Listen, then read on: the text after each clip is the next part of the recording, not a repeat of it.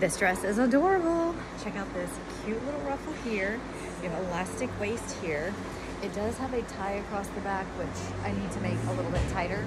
Um, but this is true to size and the length comes right to, right above my knee.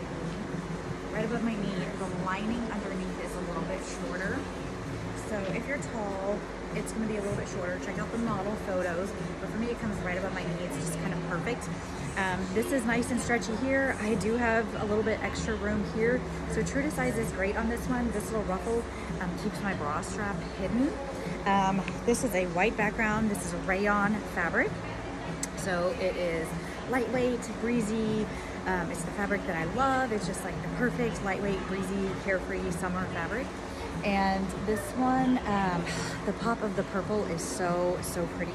This is just like the perfect little summer dress. Um, here is how it is fitting in the back.